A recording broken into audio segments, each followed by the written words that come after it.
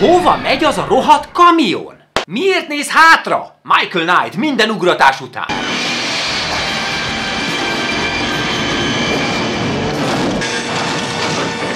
A sorozatban tényleg használtak ekkora méretű kiteket is.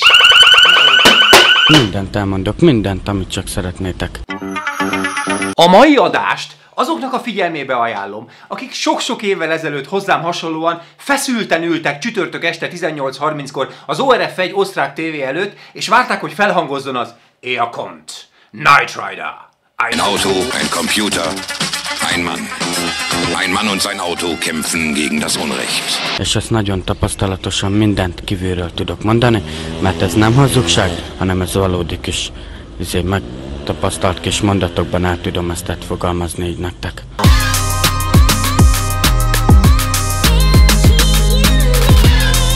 Éve már, hogy elkészült a videó a Night Rider-es kulisszatitkokról, viszont abból sok minden kimaradt. Jött egy csomó komment, amit hát vagy kifelejtettem, vagy téma, amit nem érintettünk. Ilyenek, mint például a kabrió, hogy tényleg létezette igazából mozgótetejű kabrió, az SPM kit, meg, hát meg amit az elején mutattam. Szóval ezeket így most megpróbáljuk kivesézni. Sokan kérdezik személyes találkozók alkalmával, hogy mi az a vasdarab, ami ott gyakran nem sín. Az a vasdarab, ami ott gyakran látszik kit orra alól kilógni. Nos, azt kérem szépen egy úgynevezett tóbár, vontatórút, talán így tudnám fordítani, ugyanis ennek a fiúnak itt nincs olyanja, hogy vonószem. Semmi. Magyarul, ha vontatni kell, és sajnos ez megtörtént velem nem is olyan régen a tatabányai kamionos pihenőben álltam lerohadva, nem tudod hova akasztani a kampót, amivel mondjuk a tréleres szeretne felhúzni. Én is térdeltem a sárban, hogy beakasszam a lengőkarba. Na, ezt a problémát hivatott megoldani az az úgynevezett tóbár, melynek segítségével nem csak kitűnően tudták vontatni az autót forgatáskor, hanem a kamera állványt, kamera tartozékokat is sokkal egyszerűbben rá lehetett szerelni a kocsira. Ami fontos, és a múltkor ez is kimaradt, hogy szokták, hogy szokták csinálni azt a stáblistát?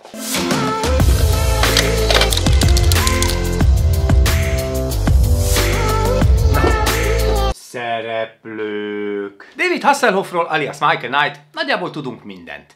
71 éves, hát nem mondom, hogy már olyan jól néz ki, mint akkor, de aktív, a mai napig járkál mindenféle reklámforgatásokra és rendezvényekre, Night Rider-es találkozókra annyira nem. Úgy vettem észre, hogy azokat a bulikat vállalja el, ahol mondjuk ő van a központban, tehát ami nem az autóról szól, nem az autórajongók vannak ott, hanem ahol ő a sztár, nem a kocsi. Olyankor simán beleül az autóba és megy is vele, tehát visznek oda kitreplikákat, és akkor ő kerül vele nagyon szívesen, de maga a replikás társadalomban úgy annyira nem vesz részt.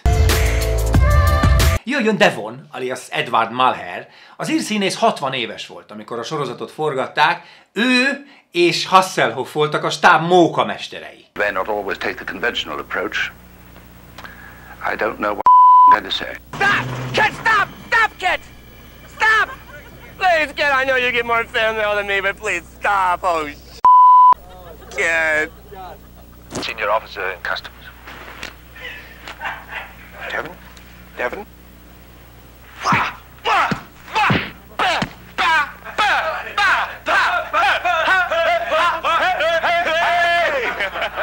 Az 50 éves pályája során több mint 30 tévéfilmben, sorozatban és mozifilmben játszott, de nagy sikere volt a Broadway-n, például a My Fair Lady-ben is. Képernyőn utoljára 1997-ben a Baywatch Nights-ban lehetett látni, 97 májusában meghalt.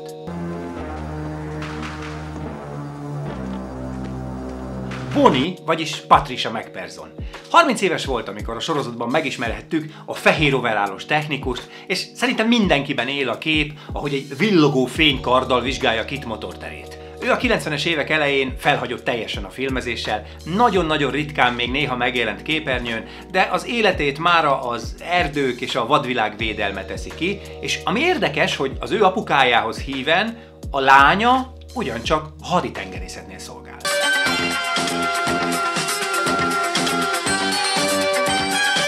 April, amúgy ott kint Aprilnek mondják, na mindegy, szóval April, Rebecca Holden, a bomba technikus lány, mindenféle magyarázat nélkül a sorozat második évadjába érkezik, nem tudjuk, hogy honnan jött, nem tudjuk, hogy miért, és csak erre az egy évadra maradt, mert utána a nézők, meg a stábtagok is visszakövetelték Bonnie. April megérkezik, és mindenki sejtette azért, hogy ő modell.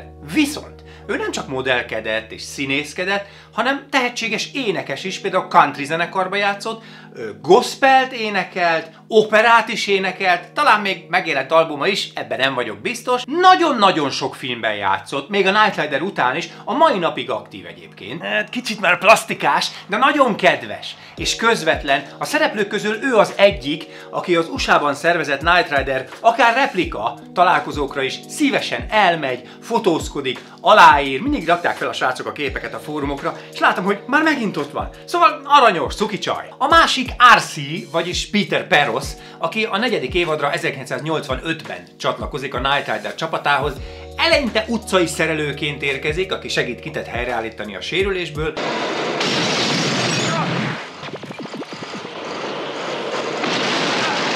majd hivatalosan ő lesz a kamion sofőrje. Akkoriban inkább ilyen színházi darabokban játszott, majd a Night Rider után megjelent néhány szappanoperában is. Mára ő sem fiatal, 63 éves, és a közelmúltban egyébként lehetett látni ilyen sorozatokban, mint a CSI Miami, a Dr. Csont, Castle-ben is szerepelt, sőt a Halálos Fegyver sorozatban is látható volt. Ő aztán tényleg egy nagyon jó arc, ő az, aki, ha ideje engedi, bármilyen Night Rider-es replikás találkozóra tök szívesen elmegy, tényleg aláír bárkinek bármit, közvetlen az emberekkel. Ő egy igazi haverkodó sztár.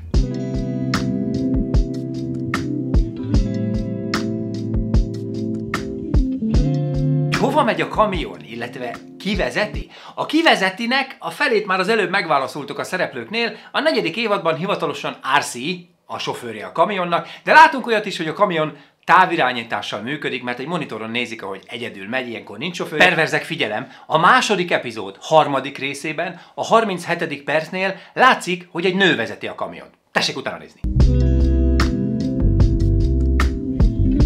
Hova megy a kamion? Soha senki nem tudja neked megmondani erre a kérdésre a választ, mert nem derül ki. Sem az oknyomozásból, amit Joék végeznek Amerikában, sem a könyvekből, sem a stábbeszámolókból, a forgatókönyvből soha nem derül ki, hogy hova megy az a rohadt kamion. Úgy hivatkoznak rá, hogy mobil parancsnoki egység. Ebből gondolnám, hogy mindig az éppen adott küldetéshez kapcsolódó úton van, de akkor miért nem áll egy parkolóban? Sose tudjuk meg. Nem lennél itt, hogyha nem lennél kíváncsi részletesebb infókra a kamionokkal kapcsolatban, amit én most átadok neked Marscsoki helyett. Három különböző kamiont használtak, a típusa mindegyiknek GMC General Traktor volt, az első egy 1980-as, aminek nem volt alvókabinja, tehát nem volt az a kis doboz a fülke mögött. Az első 12 részben maga a gép, a vontató, az fekete, viszont a trailer része hófehér. A 13. résztől azt látjuk, hogy mind a kettő fekete, és a trilleren már megvan az arancsi. A második egy 1984-es modell, amelyen már volt hálófülkerész, ez kicsit ilyen kockásabb, ilyen dobozszerűbb alakú, a harmadik és egyben utolsó, egy ugyancsak 84-es General Traktor, viszont ennek a hálófülkerésze már nem volt annyira szögletes dobozszerű, hanem egy szebb, ívelt formájú, egy ilyen aerodinamikailag jobban megtervezett cucc. Ahogy ezt mindannyian gondolhattuk, a kamionos sztoriban a legérdekesebb, legviccesebb dolog az, ahogy kit bejár a hátuljába.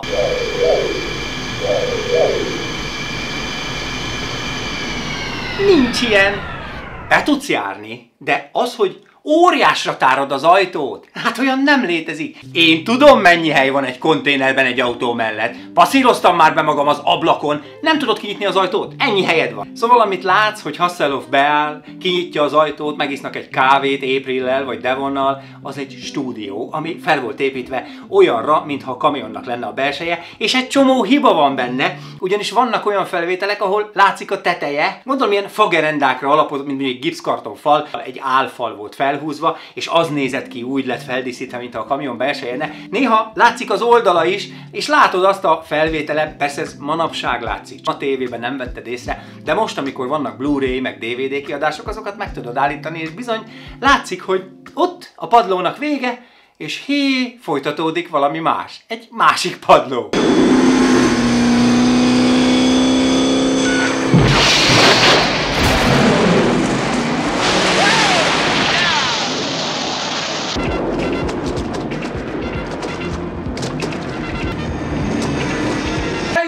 Ideje, hogy beszéljünk a miniatűrökről, ugyanis igen, valóban használtak miniatűr kiteket a sorozat elkészítéséhez. Nyilván egy lávában menős jelenetnél, meg amikor a tengeren megy az autó, és persze nem süllyed el. Mivel tudod ezeket megcsinálni? Valódi autókkal nem annyira.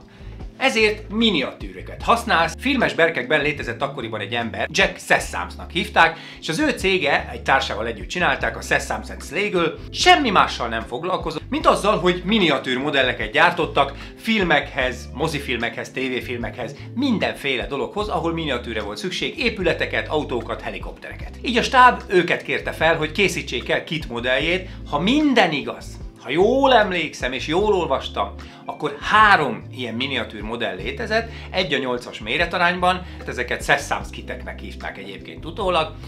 Nem arról voltak híresek, hogy tökéletesen ki vannak dolgozva, mert például volt olyan, amelyiknek sötét volt az ablaka, és egyáltalán nem volt átlátszó, a disztárcsa nem volt olyan szépen kidolgozva, ez mindig attól függött, hogy éppen milyen jelenethez akarták őket használni.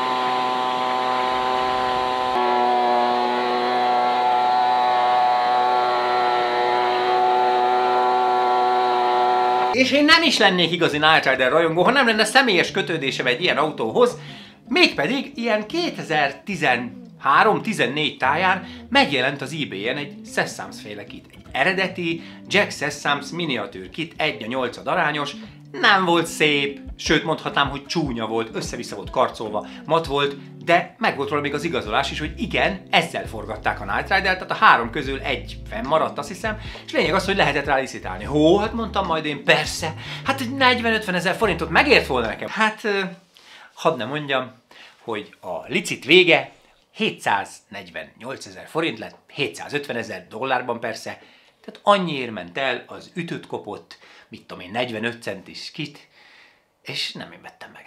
Azért lehet rajongónak lenni, de ez már nekem túlzás.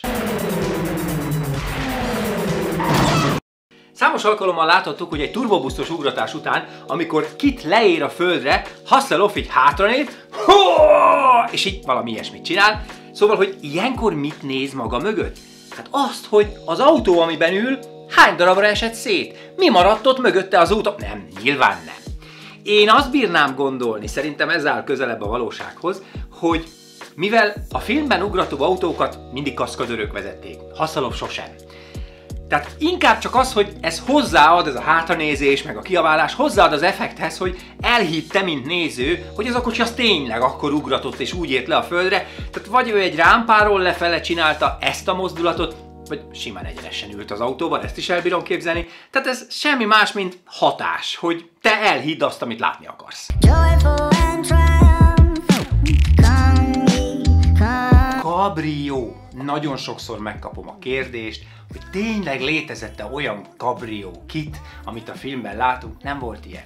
A Firebirdnek valóban volt egy kabriója, de az vászontetős kabrió, tehát amit mi látunk ott, hogy kinyílik, becsukol, nem létezik. Ez egy üvegszálas fedés volt, amit az egész hátulját eltakarta, tehát még hátsó ülése sem volt a kocsinak, ezt itt szépen rápasszították, és maga azt, ahogy emelkedik, meg csukódik, azt ha megnézed, mindig ilyen közeli felvételekkel látod, soha nem látod azt, hogy maga a kocsi hátulja mozog, tehát ez csak trükk. A kabrióból volt egy ilyen, minek nevezzem, utánfutó változat, mi szerint nem volt eleje, tehát a szélvédőtől létezik az autó hátrafelé, rákötötték arra a tóbár, amit az elején már említettem, és vontatták maguk után, és hasszalok meg nagy keményen ment az autóban, aminek egyébként nem volt eleje. Replikás körökben erre is van megoldás, tehát ha van egy alap vászontetős autód, amit mondjuk szeretnél kit kabrióvá alakítani, meg tudod csinálni. Tehát gyártják azt az óriási nagy hodály tepsit, amivel le van takarva a vászontető, és azt hiszem talán a hátsó ülés is, tehát meg tudod oldani, nyilván oda kell rögzíteni valahogy, hogy azért az ne röpüljön le, de mondjuk ha kimész autózni a kit kabrióddal és